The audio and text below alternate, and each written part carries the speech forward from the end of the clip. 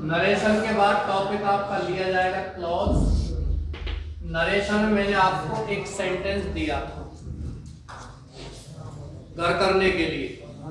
कौन सा दिया था?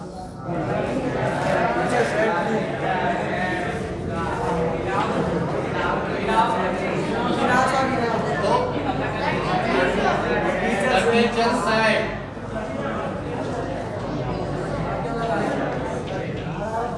the teacher said to the student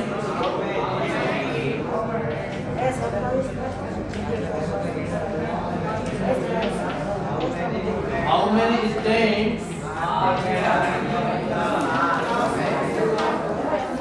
in your शांत रहिए ये बात कर रहे हैं भैया जी क्यों बात कर रहे हैं कोई समस्या हो तो मुझे बताओ। और ये सोच के आए घर से की बात ही करनी है। तो बाहर बैठो आराम से। है ना? आराम धूप निकल रही है शांति से अच्छे से। वाद विवाद करो। बात नहीं वाद विवाद जिससे आपकी विचार शक्ति बढ़े। आइए सर वेलकम जी सर? धूप सेकने से। नहीं धूप सेकने से नहीं। धूप सेकने से अपने शारीरिक और मानसिक स्फूर्ति बढ़ती है, नंबर एक। नंबर दूसरा साइंस के बच्चे विटामिन डी मिलती है। और नंबर तीसरा, एक बच्चा और दूसरा बच्चा, दोनों जब बात करेंगे, किसी पॉइंट किसी मुद्दे पर बात करेंगे तो उनके अंदर विचार शक्ति बढ़ेगी। ये कहना चाह रहा हूँ मैं। अब यूँ तुम पूरा धूप में बैठ रहे हो, चुप बैठ रहे हो तो विचार शक्ति डाउन मेरे को निमंत्रण है किसी ज़िंदगी की तरफ़ से तुम्हारे लिए निमंत्रण कोरोना चल रहा क्या बात कर रहे हो? बच के रहो सबसे- भोजन पानी। है? सर्वप्रथम निमंत्रण आपको ही मिले। आप तो गणेश जी को विद्यालय के महाराज। जितना भी की बेटा आप जा रहे हैं इनको दे लिए इनकी वहाँ नवोदय विद्यालय पोस्टिंग हो जाएगी उसके बाद तो पूरे स्कूल को भोजन करा के करेंगे। काय पोस्ट में यहाँ पढ़ाने वाले का हार्ट से भेज रहे बच्चों को यहाँ पढ़ाऊँगा भाई। यहाँ जैसा आनंद कहाँ है? तीन और तीन छह सात, आठ पंखा। किसी विद्यालय में देखें तो एक कमरा में आठ पंखा। है? आप तो नहीं जाए हमारे पंखा यार आठ। पंखे तो पूरे हमारे मकान में नहीं है। तुम्हारे मकान में आठ पंखे? इसकी हमें पता ना बे जी खेत के घूमते रहे। किसी का मकान नहीं मिलेगा आठ पंखे कमरे चार पाँच पंखे मकान में पंखे कहाँ मिलेंगे आप वैसे यात्री को कोई बहुत चित्त ना कि कमरा चार है, पंखा आठ ना कमरा एक है, फिर भी पंखा आठ है। कोई मिस्त्री दुकान जाके वो दुकान एक है, पंखा बीस है। इसका कोई मतलब ये तो आप गलत कह रहे हो ये ये डिबेट इसको कहते ये ये लड़का था सबको दो खड़े हुए पटेल खड़े हुए जाओ ये तो बहुत अच्छा बच्चा है हाँ, कोरोना चला था ना बेटा कोरोना तो पंद्रह मार्च को स्टार्ट हुआ था तो पेपर पेपर चल रहे थे तस्वीर था कि सारी अब हुआ ये कि किसी ने इससे ये कह दिया या मोदी जी का संवाद सुना था इसने कि गाय भेड़ बकरी का दूध पीने से इम्यूनिटी बनती है अभी ई रोटी में छोड़ो सब जेठ मास भेड़ है घर अब नहीं खाऊँगा तो भेड़ का खाऊँगा बकरी खाऊँगा तो बैठ बटर बैठ। ये सत्य है। हाँ बात है ये। सुनो बकरियों में इतना इम्यून सिस्टम होता है इतना मज़बूत कि वो एक बार में पर्वत पर चढ़ जाते इंसान की सांस फूल जाती है थोड़ा सा चढ़ने पर। इम्यून सिस्टम होता है। और अपनी जो W B C white blood cells और R B C red blood cells होती हैं उनको बढ़ाने में बकरी का दूध सर्वश्रेष्ठ माना जाता है। प्लेटलेट्स होती हैं ना शरीर के अंदर। बायोलॉजी में पढ़ा होगा आपने पढ़ लेंगे नहीं तो भविष्य में। दस पाँच बात तो सब बायोलॉजी पे बता और क्या आप बायोलॉजी के स्टूडेंट रहे हो पहले? तब मेरे तनख्वाह बढ़ा दी मेरा दो वर्ष ने पढ़ा रहा हूँ। खुद हमें तनख्वाह देने वाले आदमी हमसे कह रहे थे। मैं क्या करूँ तनख्वाह तो कम वो खुद है। हैं? एक मिनट हाँ। हाँ ले जाओ ले जाओ।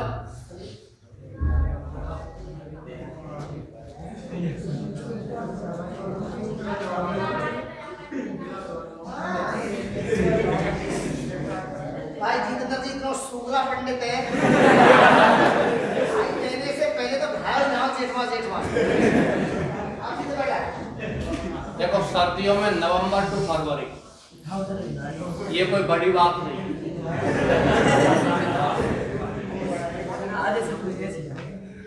स्नान करना ज़रूरी थोड़ी।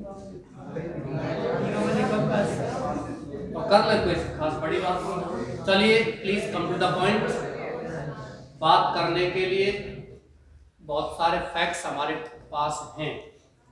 लेकिन फिर भी हमें ऐसे फैक्ट्स के बारे में बात करनी चाहिए जो हमारे दैनिक जीवन में भी काम आते हैं और हमारी स्टडी में भी काम आते हैं। ये फालतू की चीज़ों को छोड़ ये आपका sentence the teacher said to the student how many students are there in your class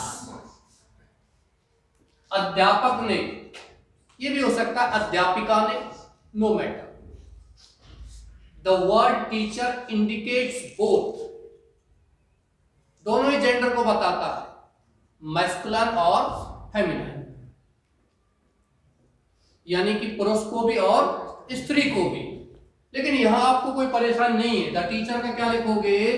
the teacher यहाँ कोई परेशान नहीं है because we never change the subject of our So you will write only the word that is given in reporting verb in your direct narration. Direct narration में जो शब्द दिया गया है, उसको जैसा कर जैसा ही लिखने में आपको कोई परेशान नहीं है। चाहे वो स्त्रीलिंग को इंडिकेट कर रहा हो, चाहे वो पुल्लिंग को इंडिकेट कर रहा हो। इसके बाद दूसरा शब्द आता है यहाँ reporting verb said to you will change it into told और into asked but the reported speech clause is interrogative और you can say there is question mark behind the clause in this condition you will change said to into asked किस समझ लोगे?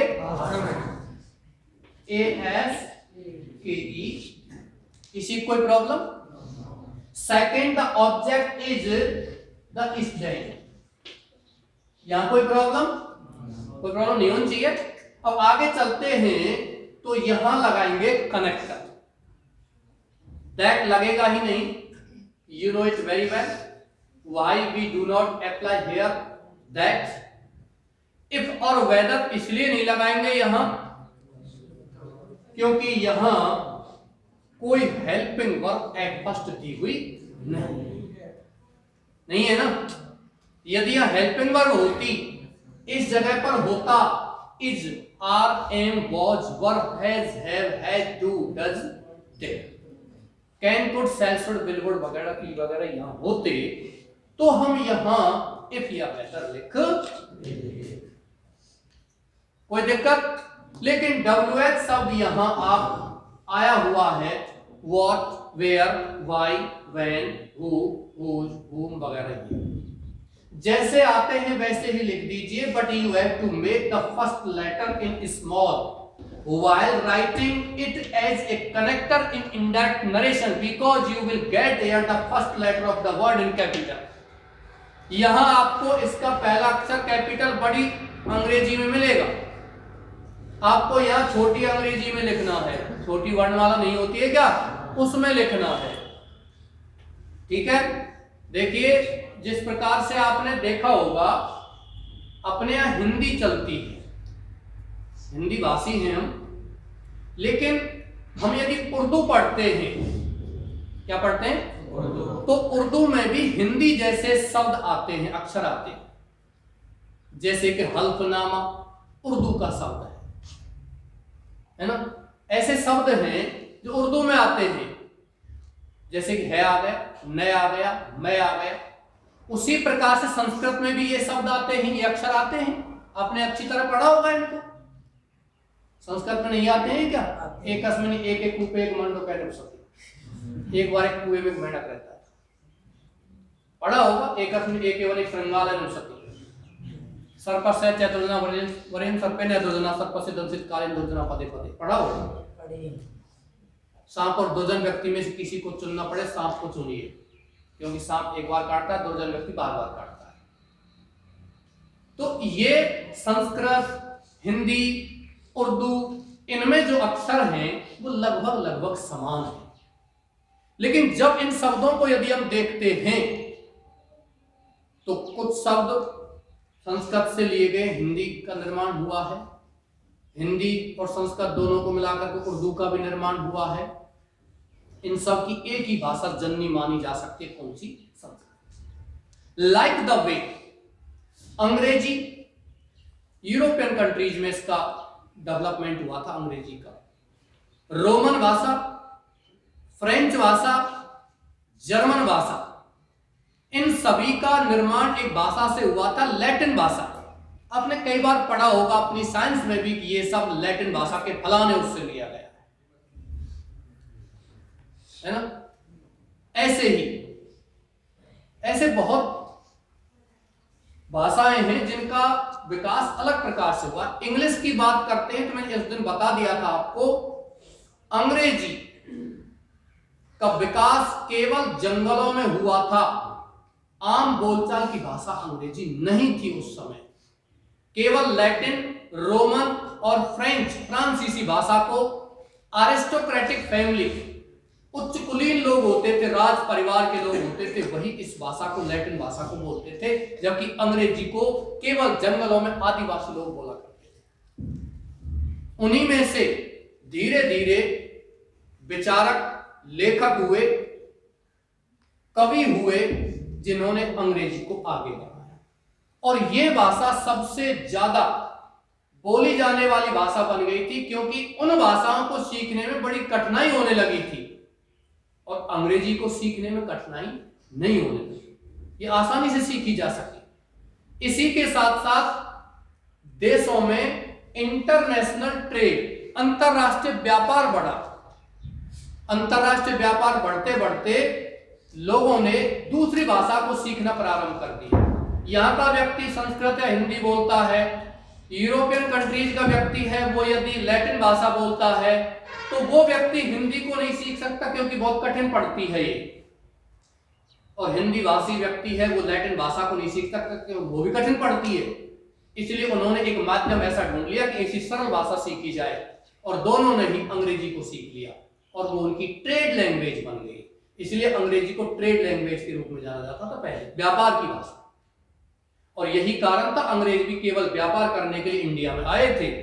और जब यहाँ इन्होंने देखा था, व्यापार के साथ साथ उन्होंने राज करना भी शुरू कर दिया था, लोगों से आपसी बातचीत करना शुरू कर दिया था तो अंग्रेज़ों ने यहाँ क्या किया? यहाँ करके हिंदी सीख लेकिन जब उन्होंने बंगाल में शासन प्रारंभ किया था तो उनको बंगाली सीखनी पड़ी भाई, आप ब्रिटेन जाओगे तो तुम कौन सी भाषा सीखेंगे? अंग्रेज़। सीधी सी बात है, अंग्रेज़ सीख लेंगे, बात खत्म हो जाएगी। लेकिन अंग्रेज़ों ने भारत में आकर हिंदी सीख ली तो बात खत्म नहीं हुई। क्यों? बंगाल को हिंदी जानता ही नहीं। वहाँ तो बंगाली भाषा जानते हैं। तमिलनाडु में गए थे, व्यापार करने तो वहाँ कोई हिंदी जानता ही नहीं। न बंगाली जानता, वहाँ तमिल भाषा जानते। अब उनको वहाँ तमिल सीखनी पड़ी। फिर उनको कन्नड़ भाषा सीखनी पड़ी केरल में, उड़ीसा में ओडिया भाषा सीखनी पड़ी, पश्चिमी राजस्थान में मारवाड़ी और मेवाड़ी भाषा सीखनी पड़ी, गुजरात में गुजराती भाषा सीखनी पड़ी, वो पागल हो गए। कौन से देश में आ गए हम? तो उन्होंने इसी के फलस्वरूप 1835 में लॉर्ड मैकाले ने अंग्रेज़ी सिस्टम को लागू किया था।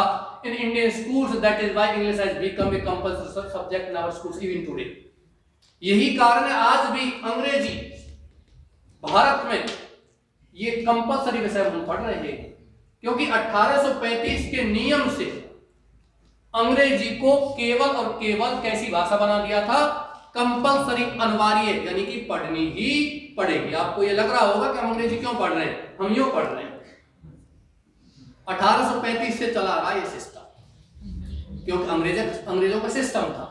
और 1947 के बाद कुछ आप जैसे अच्छे विचारक हिंदी को मानने वालों ने इसका विरोध भी किया था कि अंग्रेज़ी को ना पढ़े हम और अगले 10-12 वर्षों तक इसको थोड़ा डाउन किया गया था कि हिंदी अपनी राष्ट्रभाषा को आगे बढ़ाया जाए। लेकिन फिर उन्हीं विचारकों ने ये देखा था कि बिना अंग्रेज़ी के हमारे देश के बच्चे, या हमारी टेक्नोलॉजी हमारी साइंस हमारी मेडिकल आगे नहीं बढ़ सकती। है इसलिए अंग्रेज़ी को सीखना ही पड़ेगा। But we should respect our mother tongue too लेकिन हमें हमारी मातृभाषा को सम्मान करना चाहिए। इसलिए मैं आपसे कह रहा हूँ, अंग्रेज़ी सीखो ज़्यादा से ज़्यादा सीखो। हाँ ज़्यादा से ज़्यादा सीखो। यहाँ चलते हैं हाउ यदि हाउ लिखा हुआ होता तो हम इसको लिख देते लेकिन यहाँ लिखा हुआ है हाउ मैनी स्टूडेंट्स तो आप हाउ मैनी को नहीं लिखोगे? क्या लगाओगे कनेक्टर? हाउ मैनी स्टूडेंट्स ये ध्यान रखना? ये सवाल दो साल पहले आ चुका है एग्ज़ाम में। हाउ मैनी स्टूडेंट्स ये पूरा का पूरा आए। कहीं आपको ऐसा लगे कि हाउ मैनी तो आ गया डब्ल्यू एच सब, और स्टूडेंट आ गया आपका कर्ता, और इजारे को बदल देते हो वॉज़ में। गलत है। क्या होगा? गलत। गलत। क्यों? क्योंकि वाक्य में कर्ता कौन सा है. Dear. कोई भी ऐसा सेंटेंस जिसमें कर्ता नहीं होता है ऐसे सेंटेंस को निर्माण करते समय उसमें आप दियर से वाक्य को प्रारंभ करोगे और उस वाक्य में दियर का कोई अर्थ नहीं होता है। बिल्कुल नहीं। मैं कहता हूँ there is a piece of chalk in my pocket मेरी जेब में चौक का टुकड़ा है। अब यहाँ दियर का तो वहाँ थोड़ी होगा कि मेरी जेब में वहाँ चौक का टुकड़ा है।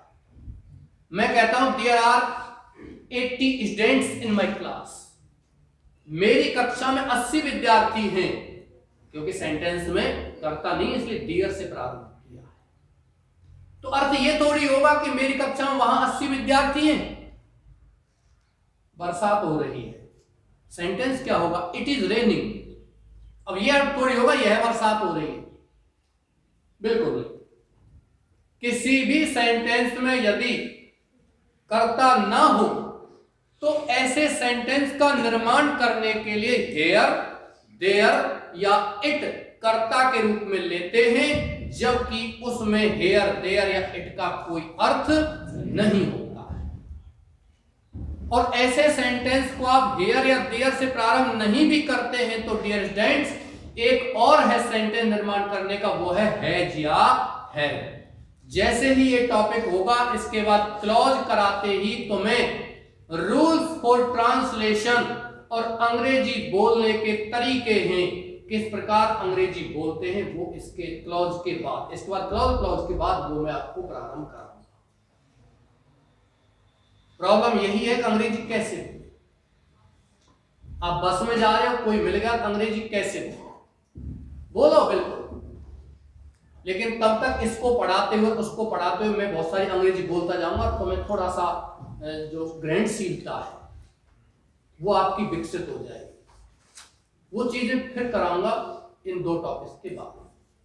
कोई भी सेंटेंस दुनिया का कोई भी सेंटेंस आप निर्माण कर सको क्योंकि टेंस आपने सीखे हैं और फिर भी आप सोचते हो, हम जो आपस में बात करते हैं रोज़ाना, वो तो किसी भी टेंस में नहीं आता। कहाँ जा रहा है तू? ये ये कौन से टेंस में आते हैं? क्यों, हमने तो रहा है, रही है, पढ़ा है। कहाँ जा रॉय तू? रॉय कहाँ? पीछे हुई ना। ये बड़ा प्रॉब्लम और सही है ये। किसी भी ज्ञान को यदि आप स्थायी बनाना चाहते हो, उस ज्ञान को अपने दैनिक जीवन में जोड़ लीजिए। You will never forget the knowledge आप उस ज्ञान को कभी भूल नहीं सकते। दैनिक जीवन में जोड़ लो। आप मुझे मत बताना, लेकिन घर पर जाकर आप गणना करना।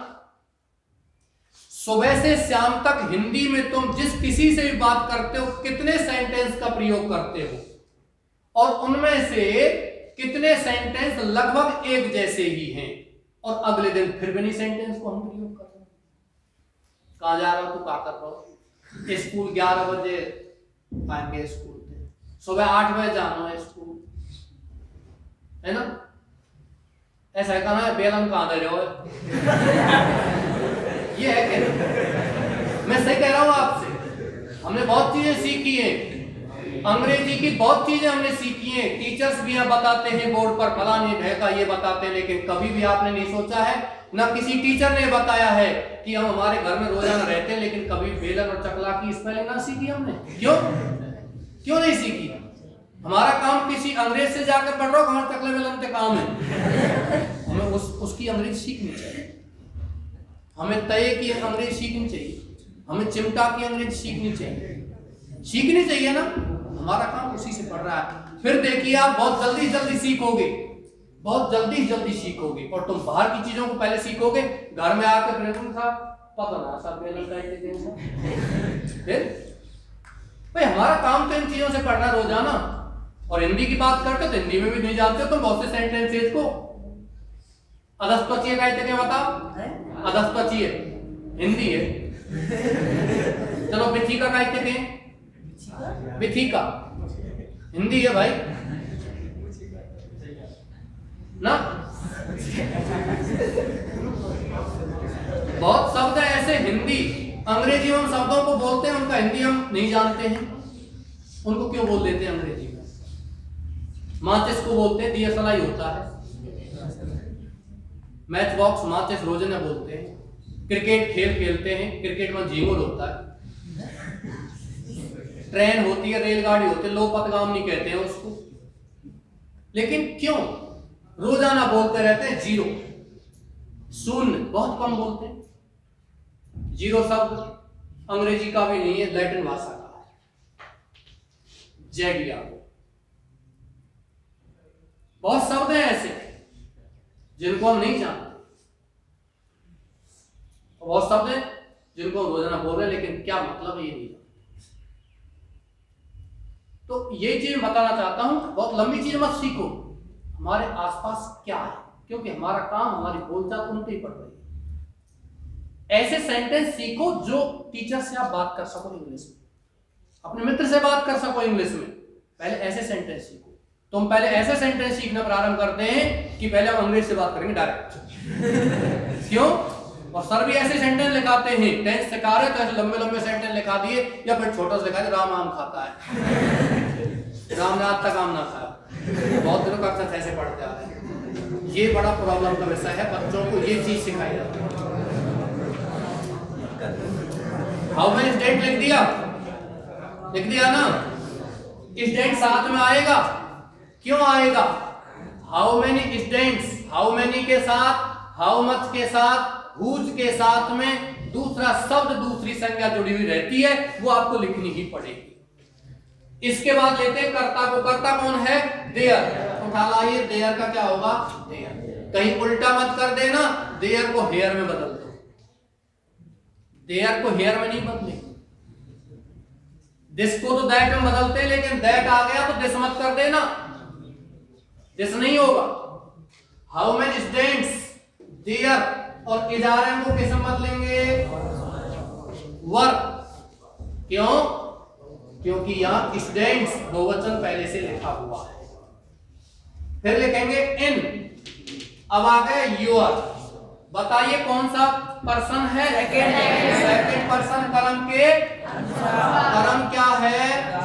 स्टूडेंट विद्यार्थी। अब विद्यार्थी दोनों आते हैं छात्र और छात्रा। स्त्री है या पुरुष है क्या आप लिखोगे? इन हर लिखोगे या इन हिज लिखोगे? बताइए। कछु लिख दो। घबरा क्यों रहे इन हिज ऑब्लिक लगा के ना लिखे एक लिखेंगे तो भी सही है। गलत? इन हिज हर और क्लास का क्या हो जाएगा? कितने विद्यार्थियों का सही है प्लीज़ आपको पता आपने बनाया नहीं था? कहा गलती की है? इधर से एक और, एक, दो, और कोई? तीन, और तीन छह सात, आठ, ठीक। आठ बच्चों से काम चला। कौन सी गलती है? कॉपी घर पर रहेगी। और जो बची हुई लड़कियाँ, उन्होंने कहाँ गलती की है, ये आप स्वयं देख लेना और जहाँ गलती की है, उसको समझ प्रॉब्लम आता है, पूछ लेना कि सब ये सुना। समस्या है तो पूछिए। यदि समस्या को नहीं पूछोगे तो आपकी वो समस्या ही बनी रहेगी, समाधान कभी नहीं होगा। अगला नियम लिखिए।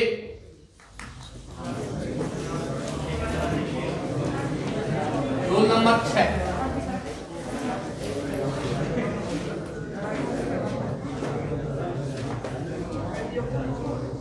रोल नंबर छ लिखिए यदि आरबी में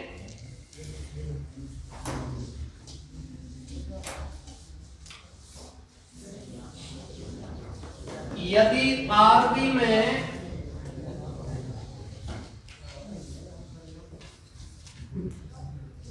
प्रेजेंट या फ्यूचर टेंस की वर्ग हो भी वर्ब काक ने वर्ब बोलना पड़े। कोई दिक्कत ना। रह नहीं बोलता है। यदि आरबी में प्रेजेंट या फ्यूचर मैं अंग्रेज़ी बोलूँगा प्रेजेंट या फ्यूचर की? स्पेलिंग बोलूँगा। बोलना पड़ता है, कभी कोई प्रॉब्लम आ जाती है भाई। एक बच्चे ने सवाल पूछ लिया था किसी अध्यापक से कि साहब नैटूर्य मन का हुआ। मास्टर ने सब डिक्शनरी खंगाले पर वो नैटूरे ना मिले। मास्टर से रोज ना परेशान करे वाले कौन बाहर बगा चल। बाहर चला गया, दो दिन बाद दूसरे वाले को कह दी आज तो पूछिए। अध्यापक परेशान हो गया हम भीतर बुला के स्पेलिंग का हुआ तो साहब N A T U R तो नेचर हो प्रकृति। और बालिक के डेवलपर और डेवलपर तो साहब ज़्यादा मत पीटो, मेरे फोटूरे में मिल जाए। फोटूरे को मतलब फ्यूचर आर तो ये बड़ा प्रॉब्लम होता है और इंडियन स्कूल्स में तो ये है। हाँ। लिख लियो यदि आरवी में प्रेजेंट या फ्यूचर टेंस की वर्ग हो तो आरएस के टेंस को नहीं बदलते हैं। तो आर एस के टेंस को नहीं बदलते हैं।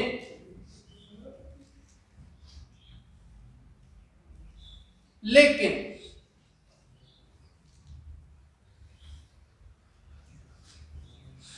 आरबी में पास्ट टेंस की वर्ब हो,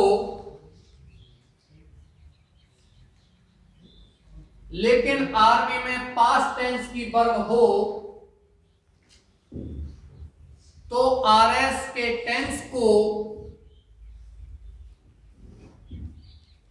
तो आर एस के टेंस को रूल नंबर चार के अनुसार बदलते हैं।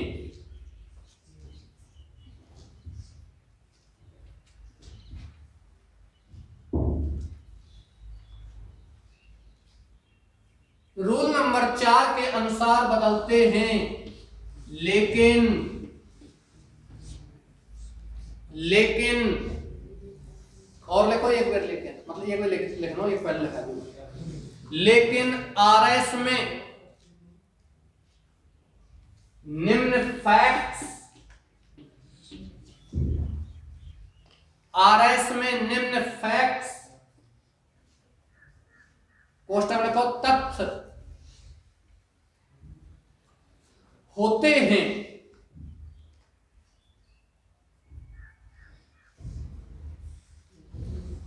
निम्न तथ्य या फैक्ट्स होते हैं तो आरएस के टेंस को नहीं बदलते हैं। बोर्ड पर लिखाऊँगा तीसरी चौथी की तरह, आदत को सुधारिए। आपके भले के लिए कह रहा हूँ, लोगों को कोई दिक्कत ना वो तीन बार बोलना पड़ रहा हूँ सेंटेंस एक बार लिखाऊं मैं आपको। लेकिन आरएस में निम्न तथ्य होने पर फिर क्या बोला था मैंने? आर एस के टेंस को नहीं बदलते हैं, चाहे। चाहे। आरबी में। जैसा जो विचार रखे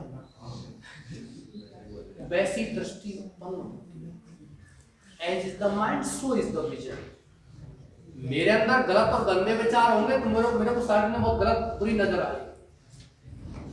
मेरे विचार अच्छे मुझे साइड में बहुत अच्छी नज़र आएगी।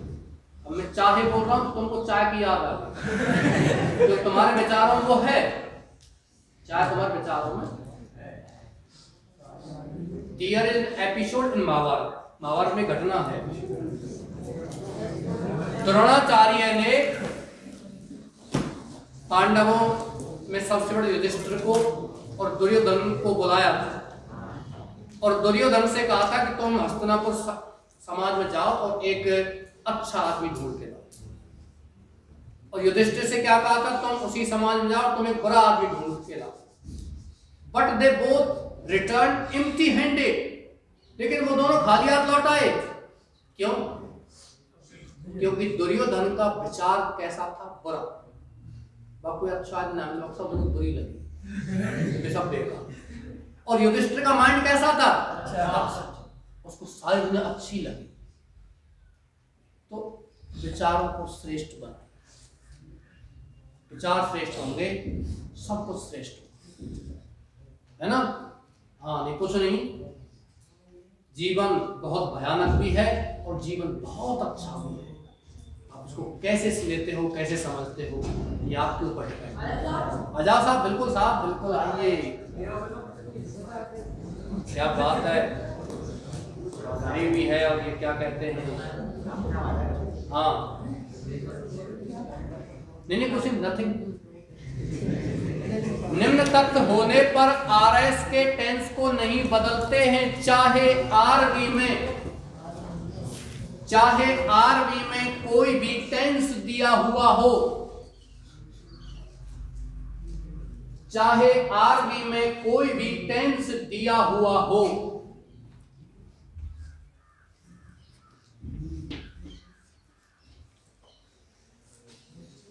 नंबर एक डाली रोमन संख्या में लिखिए।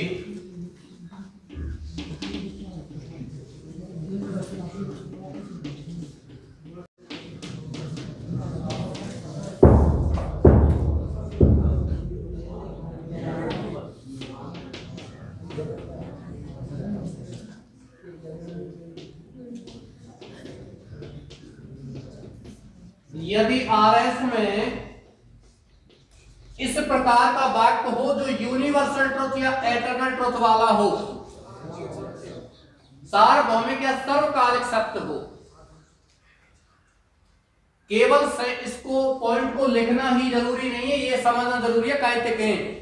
हम साहब नौवीं आठवीं से पढ़ते आ रहे हैं, सार्वभौमिक सत्य सार्वभौमिक सत्य को समझ सार्वभौमिक सत्य कहीं कायते क्योंकि सत्य को समझना इतना आसान नहीं है।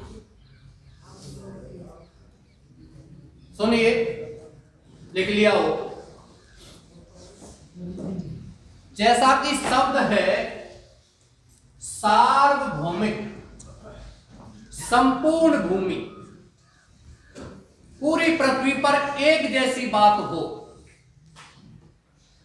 पूरी पृथ्वी पर एक जैसी बात हो, वो क्या कहलाता है?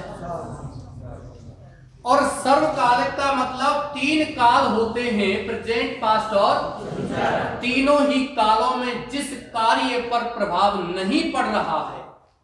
मान के चलिए, भूतकाल ने किसी काम पर कोई प्रभाव नहीं डाला। 500 साल पहले भी बात ऐसी ही थी, एक हज़ार साल पहले भी ऐसी ही बात थी। आज भी ऐसी ही है और दस दिन बाद ऐसी रहेगी, एक हज़ार साल बाद भी ऐसी रहेगी। उसको कहते हैं सर्वकालिक अब ये पंखा चल रहा है। मैं बंद कर दू, बंद है। है ना? प्रभाव पड़ा या नहीं पड़ा ये पंखा गर्मियों में चल रहा था और अब फिर चल रहा मतलब काम बंद हो गया क्योंकि बातें वर्तमान तक आ पहुँची। और भविष्य में फिर चालू है जब। कहने का मतलब इंसान इसको इंटरफेयर कर रहा है। लेकिन ऐसी कोई बात जो जिसको इंसान इंटरफेयर नहीं कर सकता। इंसान तो इंसान प्रकृति भी जिसको इंटरफेयर नहीं कर सकती। वो कहलाता है सर्वकालिक सत्य या सार्वभौमिक सत्य। समझ में आई? जैसे, सर्व, सार्वभौमिक का मतलब है सूर्य पूरब में उगता है। आप जापान चले जाओ, जिसको सूर्योदय का देश कहते हैं। नार्वे जाएँगे मध्यरात्रि के सूर्य का देश कहते हैं। अब वहाँ जाओगे, सूर्य वहाँ भी किधर से उगेगा?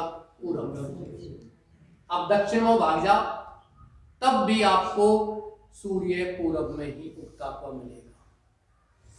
अब किसी भी देश में चले जाओ, सूर्य कहाँ उगता है? पूरब क्यों?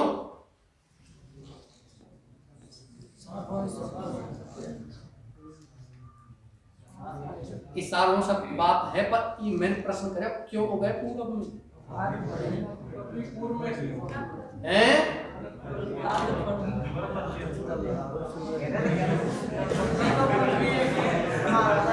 क्या है क्या है? आदत पड़ गई। आदत पड़ गई। क्लास टेंथ से इलेवेंथ में प्रमोट हुए इतनी चीज़ों को भूलो मत। भविष्य में सारी चीज़ें काम आएँगी। जो जोग्राफिकल चीज़ें हैं, उनको भूलो मत। पृथ्वी का घूर्णन दो प्रकार से होता है, उनको भूलो मत। क्योंकि आगे चल करके भूगोल के बिना आपकी विज्ञान अधूरी है। ये ध्यान रखना भूगोल में जो घटनाएँ घटित होती हैं, जो घटनाएँ आपने पढ़ी हैं वो सब घटनाएँ, वो चीज़ें आपको फिजिक्स में पढ़नी पड़ेगी। और भूगोल में जो प्रकृति की चीज़ें हैं, चाहे वो आपकी बायोडायवर्सिटी जैव विविधता वगैरह, पर्यावरण कुछ भी हो, वो आपको विज्ञान में बायोलॉजी में पढ़ना पड़ेगा। भूलो मत चीज़ों। ये चीज़ें आपको भूगोल के अलावा फिजिक्स में भी आएँगी कि भारत में श्री हरिकोटा इसरो का जो केंद्र, प्रक्षेपण केंद्र है, सतीश धवन। वही केंद्र क्यों बनाया गया था उसका? प्रक्षेपण केंद्र वही क्यों बनाया गया था? यहाँ कठुमर के ना बना, यहाँ तो और सको में साल तो। उपग्रह यहाँ थे तो प्रक्षेप ऐसा गए। इतना बना? ये फिजिक्स की चीज़ें हैं। इनको दिमाग में रखना पृथ्वी के अंदर गुरुत्व बल होता है और बहुत पावरफुल होता है। कि पंखा किराया कर पावरफुल ही। आकाश में बादल है, हैं? पृथ्वी ज़्यादा ताकत हो रही है। यही तो मैं कह रहा हूँ। कुछ ना कुछ तो होगा इसलिए नहीं गिर रहा। वही तो मैं कह रहा हूँ। बादल किराया करते ऊपर थे पृथ्वी में ताकत होती है। इन चीज़ों को नॉलेज को कनेक्ट करो फिजिक्स में चीज़ें उनसे पूछो सबसे। केमिस्ट्री वाला सर पढ़ाता है, उनसे पूछो दैनिक जीवन जीवन की चीज़ें। माना कि आपको शुरुआत में बेकार लगा, अरे साहब, इन बातों पूछेंगे त्याग बच्चा हंसेंगे? हंसने वे हँसते रहेंगे ऐसी बात आप ज्ञान प्राप्त सार्वभौमिक सत्य, सर्वकालिक सत्य, जिन पर किसी और चीज़ का प्रभाव नहीं पड़ सकता। जैसे कि the Ganga flows into the Bay of Bengal Ganga नदी बंगाल खाड़ी में बहती करती है। अब इस पर प्रभाव आज से 500 साल पहले भी गंगा नदी कहा जाती थी? बंगाल खाड़ी ये अलग बात डेल्टा बना दे बांग्लादेश में जाकर विश्व का सबसे बड़ा डेल्टा बनाती है नदी। सुंदर सुंदरवन पड़ा होगा गंगा नदी यहाँ ये बंगाल खाड़ी में जाती है। और इधर से ये बांग्लादेश में इधर से ब्रह्मपुत्र नदी आती है और इस गंगा नदी में यहाँ बांग्लादेश में मिल जाती है इसके जस्ट बाद से ये नदी बांग्लादेश में मेघना नाम से जानी जाती है, जो बांग्लादेश में बहुत बड़ा बाढ़ का कारण बनती है और विश्व का सबसे बड़ा बाढ़ग्रस्त देश भी कौन सा है? बांग्लादेश। इन दो नदियों के कारण ही है। तो ये गंगा नदी इधर ही क्यों जाती है? आज से एक हज़ार साल पहले भी ऐसा था। आज भी ऐसा ही है। अब ऐसा थोड़ी मैं जाकर के बंद कर दूँगा बटन दबा दूँगा ठीक है अपनी उसको मत जैसे पंखा बंद कर दिया। एक हज़ार वर्षों ने, दो हज़ार वर्षों ने, पाँच सौ वर्षों ने, और आने वाले वर्ष भी इसके कार्य पर कोई प्रभाव नहीं डालेंगे। वो क्या कहलाता है? सर्वकालिक सत्य। तीनों ही कालों में जो चीज़ एक जैसी होती है ऐसे सेंटेंस को हम आर एस में यदि आता है तो टेंस को बदलेंगे। जैसे सेंटेंस आ गया, गंगा नदी बंगाल की खाड़ी में बहती है, गिरती है है ना? तो ऐसे सेंटेंस को नहीं बदल सकते, गंगा नदी बंगाल खाड़ी में बहती थी। बहती थी मतलब अब ना बह हो बह ना? इसलिए उसके टेंस को चेंज नहीं करेंगे फ़र्स्ट फॉर्म को सेकंड फॉर्म में नहीं करेंगे। बात बात बात नहीं भैया जी, ए भैया। नई जर्सी वाले नंबर सेकंड लिखिए। इसमें आप लिख सकते हो हैबिचुअल आदत अनुसार होने वाला कार्य या लिख सकते हो नेचुरल एक्टिविटीज़ स्वाभाविक गतिविधियाँ।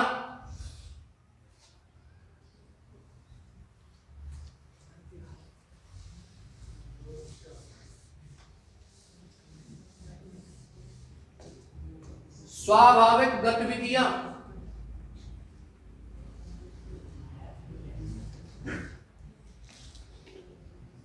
नंबर तीन मैथ्स या साइंस फॉर्मूला। गणित या विज्ञान का नियम।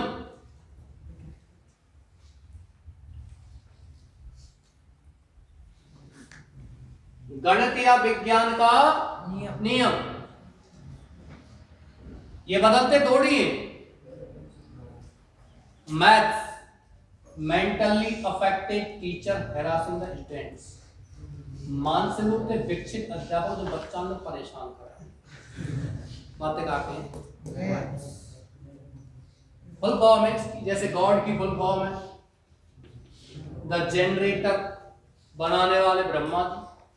ऑपरेटर, पालन करने वाले विष्णु, द डिस्ट्रॉयर, नाश करने वाले करने गॉड। चलो बताएँगे, किसी दिन बहुत समय पढ़ा है, हमारे पास बहुत सारी चीज़ों को बता दिया आपने दो चीज़ पढ़ी होंगी, एक तो मैथ्स पढ़ी होगी और एक पढ़ी होगी आपने मैथ। ध्यान दीजिए बच्चों, मैथ जो है वो अमेरिकन इंग्लिश का वर्ड है। The word does not belong to British ये ब्रिटिश इंग्लिश का शब्द है। अंग्रेज़ों की अंग्रेज़ी का, यानी ब्रिटेन की अंग्रेज़ी का शब्द मैथ्स और अमेरिका का कौन सा है? जैसे पढ़े होंगे आपने कलर। कलर। मैं एक दिन और बताया थे थोड़ा सा। सेंटर सेंटर पढ़े? नहीं पढ़े? कक्षा दस में पाठ पढ़ा था, ओलिवर गोल्ड स्मिथ का।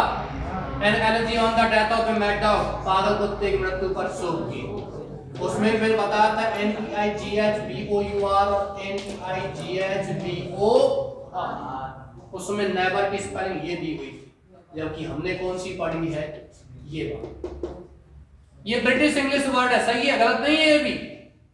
ये ब्रिटेन का अंग्रेज़ी का शब्द है और ये अमेरिकन इंग्लिश सेंटर ये ब्रिटिश इंग्लिश का है और हमने ये भी पढ़ा है तो मैं ध्यान हो तो सी एन टी आर ये किसका है? American English word C L O U R ये ब्रिटिश इंग्लिश का शब्द है C O L O R ये अमेरिकन इंग्लिश का शब्द है। लेकिन इनके उच्चारण में फ़र्क है। इसको बोलेंगे नेबर और इसको बोलेंगे नेबर। इसको बोलते हैं कलर। इसको बोलते हैं कलर। जी। क्योंकि अमेरिकन इंग्लिश में आर साइलेंट नहीं होता। ब्रिटिश इंग्लिश के शब्दों को ध्यान दीजिए, कोई भी शब्द। मैं बहुत सारी चीज़ों को बताता जा रहा हूँ। इलेवेंथ क्लास है। जो कुछ दिमाग में आता है, सारी चीज़ों को बताते चलो बच्चों। को अंग्रेज़ी के शब्द किसी भी शब्द में आर आता है। और आर से पहले कोई स्वर है और बाद में है व्यंजन। या आर से पहले कोई स्वर है और आर उस शब्द का अंतिम अक्षर है, उस शब्द में हम आर को रे के रूप में उच्चारण नहीं करते हैं। We do not pronounce the character R as re if there is any vowel before the character R and after any consonant or r is the last character of the word in this word we never pronounce the character r as re ऐसे शब्द में हम are को रे के रूप में नहीं बोलते हैं वो मैं कई बार आपको बता चुका हूँ B I R D bird कभी भी बर्ड ना बोले आते पर हम तो बर्ड बोलेंगे, यदि ना बोले रहे तो मास्टर पीटे वो। रह तो तू बोली ना का बोल रहा तू P A R T Y party के बजाय सब होता पार्टी। और हम ऐसे बोलेंगे, डायरेक्ट भी पार्टी मत बोलो। पार्टी। हाँ रे की जगह जी को गोल कर लीजिए थोड़ा जी, आर से पहले, बस बस बस, घर प्रैक्टिस करना। आर से पहले ये ए दिया गया है ये क्या है? स्वर है। क्या है भैया? स्वर और आर के बाद में ये क्या है? व्यंजन। है ये थोड़ा सा फ़र्क आपको ध्यान रखना है। T A C H E R को टीचर के बजाय टीचर बोलिए टीचर हाँ। M S T E R को मास्टर नॉट मास्टर सही अक्षरों सही यदि उच्चारण करते हैं सही उच्चारण करते हैं। एफ़ ओ आर को हो और नहीं हो समझ गए? आर से पहले कोई स्वर है और आर किसी शब्द का अंतिम अक्षर है या आर के बाद में कोई व्यंजन है, जैसे कि वर्ड में पार्टी ये। ठीक? आगे चलते हैं। गणित या विज्ञान का नियम कभी बदलता नहीं है। टू एंड टू में फोर, दो दो चार होते हैं। क्या आप इसको बदल दोगे? अभी आप इसको बदलोगे, दो दो चार होते टेंस बदलोगे, क्या हो जाएगा? दो दो चार होते थे।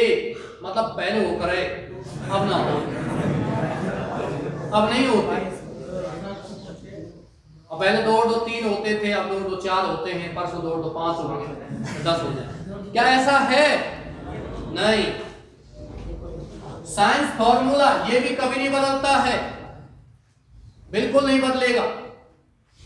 विज्ञान का जो नियम है, वो बदलता नहीं है। Ice changes into water when it gets light बर्फ़ पानी में बदल जाती है जब यह ऊष्मा प्राप्त करती है। ये सत्य है। विज्ञान का नियम water boils at 100 degree Celsius and freezes at 0 degree Celsius पानी 100 डिग्री पर उबलता है और ज़ीरो पर जमता है। तो ये किसका नियम है? विज्ञान का नियम। आप कहीं भी पानी को उबालिए, बर्फ़ में जाकर उबालो। जब तक पानी का तापमान सौ नहीं होगा, वो उबलेगा नहीं। तो ये विज्ञान का नियम बदलता नहीं है। कि साहब दस दिन पहले तक पानी सौ डिग्री उबलाओ और अब जाड़े पर रहे या अपना नब्बे पे हो गए नहीं है। ऐसा नहीं है। नंबर चार लिखिए। ट्रेडिशन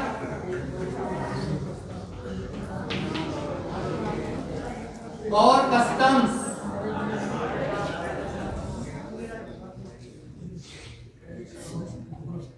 लिखिए परंपरा और रीति रिवाज ट्रेडिशन माने परंपरा, कस्टम माने क्या होता है? रीति रिवाज ये नहीं बदलते हैं। बदलते हैं क्या?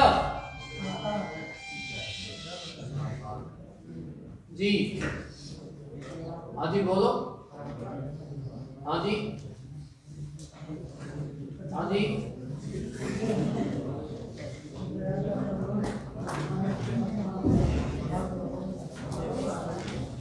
हाँ जी अच्छा ठीक हाँ कोई दिक्कत ना, निवेदन का बात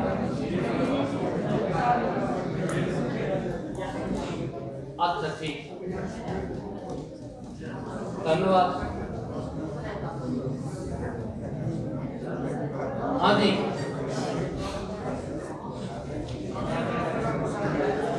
ट्रेडिशन और कस्टम्स बातें नहीं।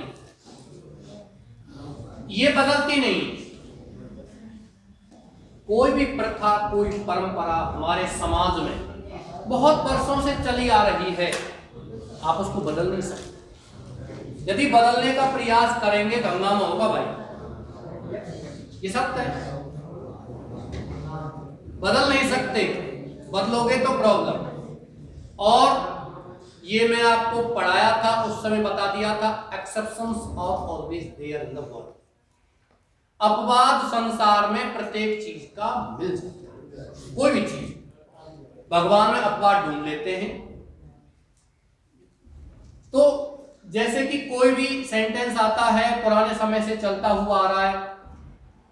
हिंदूज बर्न देयर डैड्स हिंदू अपने मर्दों को जलाते हैं। अब ये परंपरा है। अभी थोड़ी है कि साहब अभी परंपरा बंद कर देंगे। और कल से टांग में लग पड़ेगी ऐसा कुछ है? मुस्लिम्स स्पीक द वर्ड कबूल एट द टाइम ऑफ़ निकाह। ये परंपरा है। निकाह के समय कबूल शब्द बोलते ये परंपरा है, ये कभी बदली थोड़ी जा सकती है। क्योंकि कितने ही समय से बातें ये चली हुई आदत है। ये अलग बात है कि जैसे जैसे समय निकलता जाता है तो परंपराएँ भी धीरे धीरे चेंज होती जाती हैं। वो एक अलग बात है। धीरे धीरे चेंज होती है। सभ्यता कभी एकदम से चेंज नहीं होती है। एकदम से सभ्यता चेंज नहीं होती है समाज हंगामा खड़ा हो जाता है। आज से तीस साल पहले गाँव में कोई जींस ना पहनो भाई। नहीं नहीं, सत्य ये। मैंने 20 वर्ष पहले पढ़ाना प्रारंभ किया था, जब स्कूल में जीन्स पहन के नहीं आते थे हम। सादा पैंट, शर्ट पहनते थे। अध्यापक जीन्स पहने तो बाले को जीन्स पहनेंगे तो बेकार स्कूल है ये। क्योंकि सामाजिक दृष्टिकोण ऐसा ही था। बात है नहीं। और अब जो हमारी जीन्स ना पहने बात ऐसा प्राचीन काल को।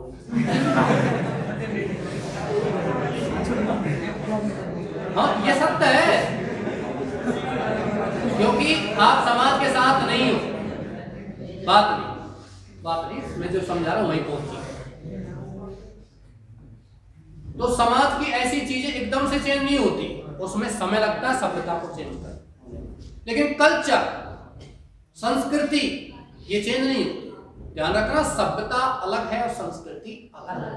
संस्कृति हमारी प्राचीन व्यवस्थाओं से जुड़ी हुई रहती है। संस्कृति की जड़ें बड़ी गहरी होती है। लेकिन सभ्यता आज ऐसी है आज कल वैसी होगी। किस तरह मानव जीवन जी रहा है। पहले सभ्यता ऐसी थी कि लाठी डंडों से लड़ते थे। ऐसी ही मूवीज़ फ़िल्में भी ऐसी ही बनती थी। बीच में फिर युग बदला तो मूवीज़ फ़िल्में भी ऐसी बनी कि बंदूकों से गोलियों से लड़ाई हो अब समाज ऐसा है तो बस बटन दबाते, बम ब्लास्ट हो गए तो ये सामाजिक सिस्टम होते हैं।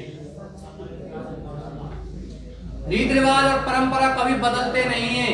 आप सेंटेंस को ऐसे नहीं लिख सकते, हो हिंदूज बर्न देयर को, हिंदूज बर्न देयर हिंदू अपने मर्दों को जलाते थे। आप ऐसे लिख सकते हो। जलाते थे मतलब नहीं जलाते हैं क्या? अब भी जलाते हालाँकि पहले ये अलग ट्रेडिशंस थी। पहले भी पवन दाव अग्नि और जल और भूमि। चार प्रकार की चीज़ें थी पहले।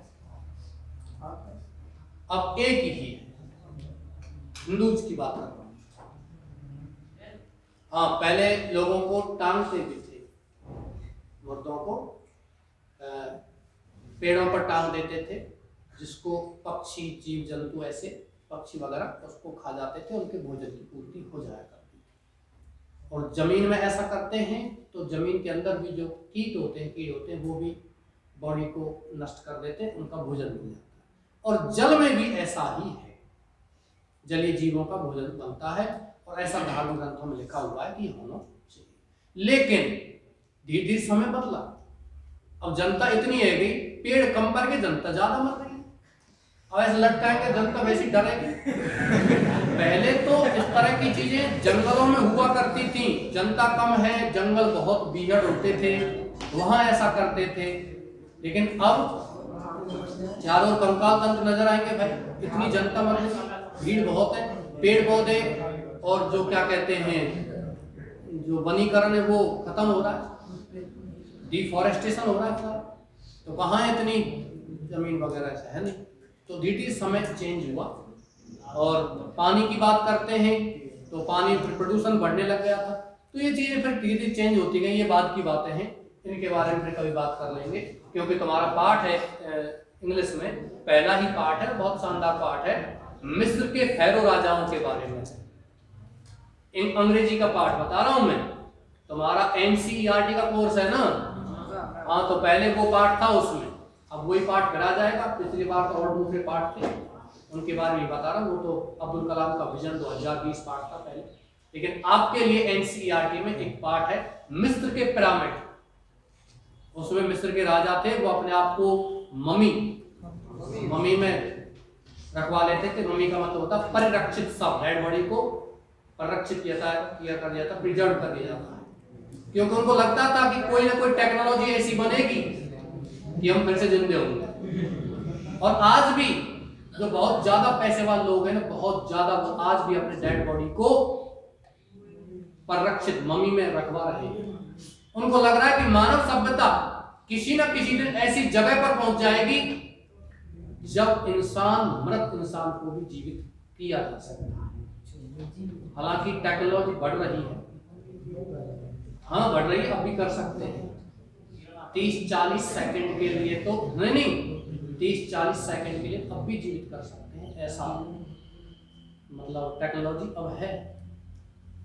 लेकिन इतना ही और उसमें बहुत ज़्यादा पैसा खर्चा। वो मुझे नहीं पता मैं पता नहीं खर्चा तो भाई उसमें पैसा ज़्यादा खर्च होता है, केवल बहुत ज़्यादा काम के लोग, ज़्यादा पैसे वाले लोग हैं, उनकी मृत्यु कैसे हुई, ये जानने के लिए उनको इस टेक्नोलॉजी का वही उपयोग कर रहे हैं। हमारे तुम्हारे लिए चीज़ मतलब नहीं, आसान चलिए, अगला लिखिए प्रोवर्स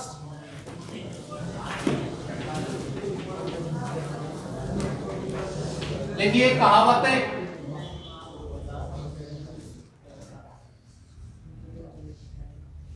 साइंस के विद्यार्थी हो साइंस के क्षेत्र में बहुत ज़्यादा रुचि रखो।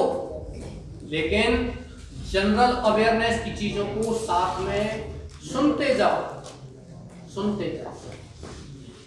आप विज्ञान में होशियार हो तो ये आप कोई बड़ी बात ना है। क्योंकि विज्ञान तो तुमने चुनी है, उसमें तुम होशियार होंगे। नहीं ऐसे? यहाँ जलेबी रखी है गुलाब जामुन रखा।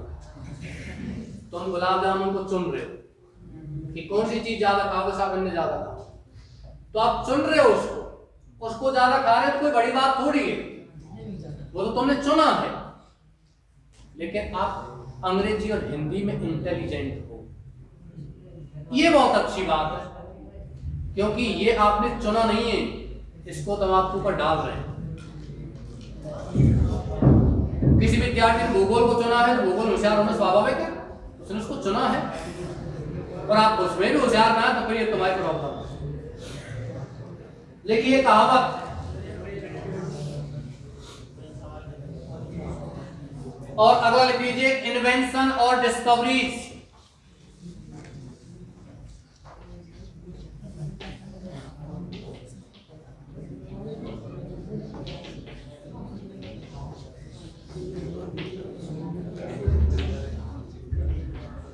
इन्वेंशन और डिस्कवरीज देखिए, आविष्कार और खोज। ध्यान रखना विद्यार्थियों इन्वेंशन अलग होता है डिस्कवरी शब्द अलग होता है। कहीं आपको लगा साहब खोज और आविष्कार एक ही बात है ना? कोई भी चीज़ जो पहले से ही इस संसार में मौजूद है,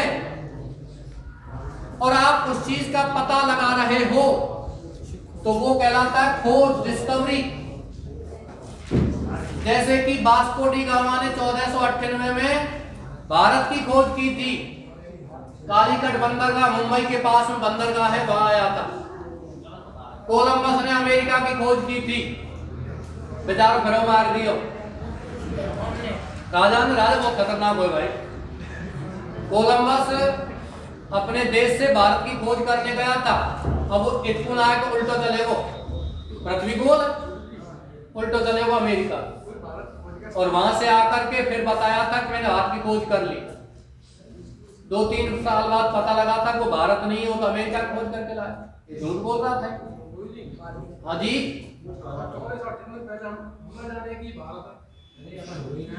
आप जानते थे, लेकिन वो नहीं जानते आप तो जानते थे, क्योंकि आपका जन्म चौदह सत्तर में हुआ था।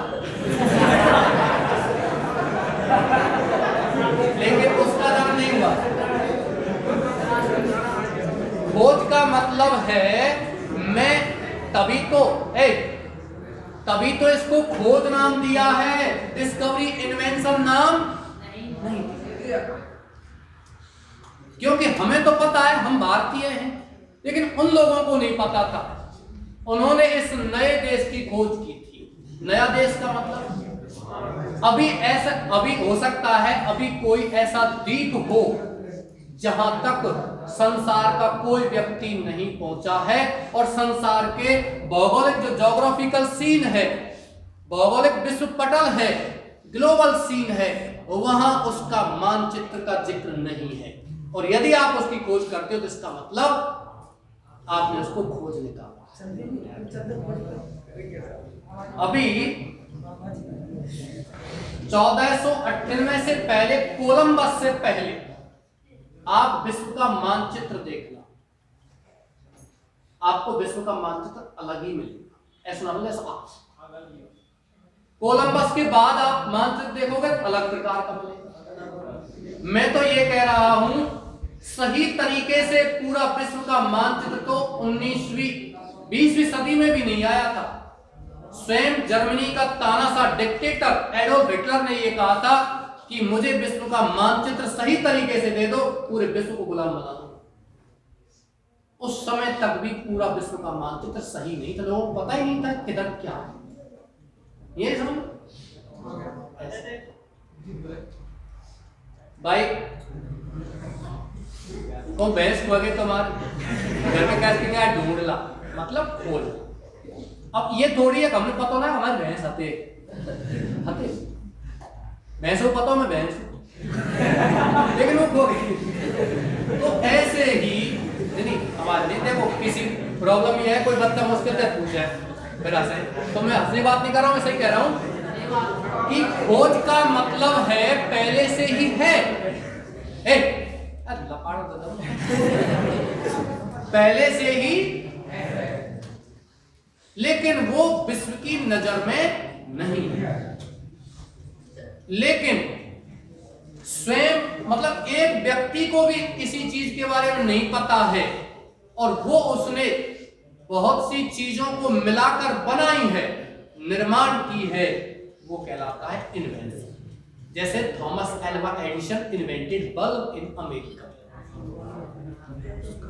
Thomas Alva Edison ने अमेरिका में किसका आविष्कार किया? बल्ब तो पहले बल्ब नहीं। उसने आविष्कार किया है ना? जैसे कि सर आइजैक न्यूटन ने बताया था क्या? Gravitation power. पृथ्वी में गुरुत्व बल। जो चीज़ों को अपनी ओर खींचती। तो ये पहले से नहीं पता। न्यूटन सेब के पेड़ के नीचे बैठा हुआ था, सेब ऊपर गिरे। अब मैं हो तो तू हो तो सेब उठा, खा ले तो। बात को ही खत्म। कर यहाँ तक आज तक बात आती ना। लेकिन न्यूटन ने सोचा था कि सेब नीचे क्यों गिरो? और मेरे भाई, ये बात जब उसने जनता से पूछी थी, बताई थी उसकी जिज्ञासा थी तो लोगों ने उसका मज़ाक उड़ाया था। पागल आई सेब तो नीचे गिरा है वो। अरे वो यही तो पूछ रहा है कि सेब नीचे क्यों गिरा? है ना? लोगों ने उसकी हँसी उड़ाई थी। लेकिन फिर उसने अपनी बात को ढंग से कहा था। कि आप बस क्यों रहे हो? मैं सही बता रहा हूँ। शेर नीचे के ऊपर ना गए कुछ ना कुछ तो है। तो लोगों ने उसका विरोध किया था कि बेटा को तूने कहा देर लेकिन उसने खोज की थी। और तब लोगों को बता था, सत्य का यही नियम होता है मेरे बता। यदि आप सत्य हो तो लोग हंसेंगे आप। लेकिन आप सत्य पर अड़े हुए हो तो लोग आपका विरोध करेंगे। और फिर भी आपने सत्य की राह नहीं छोड़ी तो अंत में सत्य को सत्य मान करके स्वीकार कर लिया ये सत्य का नियम होता है। उसने गैलीलियो ने दूरबीन का आविष्कार किया था। और उसने दूरबीन से बताया था कि पृथ्वी सूर्य का चक्कर लगाती गैलीलियो से पहले यह था हमारे समाज में कि सूर्य के, सूर्य पृथ्वी का चक्कर लगाता हमारी आँखों से देखा जाए तो ऐसे सोचते भी हैं कि सूर्य इधर से उगे और चक्कर यूँ लगा के इतकू ये किसका चक्कर लगा रहा है? लोग ऐसे ही मानते थे। लेकिन गैलीलियो ने जब इस बात को कहा था तो राजा ने कहा था तुम समाज में भ्रम फैला रहे हो। क्या सबूत है तुम्हारे पास? और उठा करके उसको जेल में पड़े। दस साल जेल में रहा था। उसके दस वर्ष बाद कॉपरनिकस ने इसको सिद्धांत को सही ठहराया था। और फिर उनको बताया भी था इस इस तरीके से ये पृथ्वी सूर्य का चक्कर लगाते ना कि सूर्य। तब जाकर उसको बाहर निकाला था जेल से दो घंटे बाद मर गया था बेचारा। तो बताइए। हाँ। दस साल जेल में रही भाई उसका नहीं समय आ गया था यार। उदाहरण लिखिए।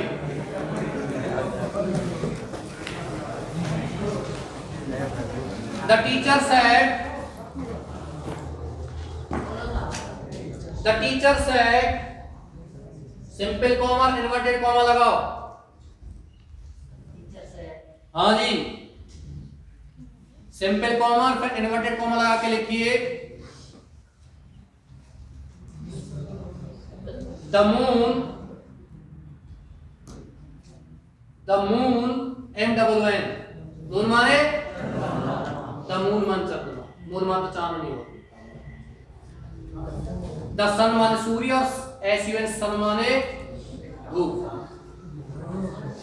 एस यू एन सन माने धूप। और इससे पहले दी लग जाता है तो दीशन माने the moon gets her light. Her लगाएँगे, ध्यान रखना क्यों लगाएँगे मून के लिए हर, ये कल बताऊँ अभी समय होता है the moon gets her light from the sun the moon gets her light L I G S T from the sun मतलब चंद्रमा अपना उजाला सूर्य से प्राप्त करता है। इन्वर्टेड कॉम बंद कर लो।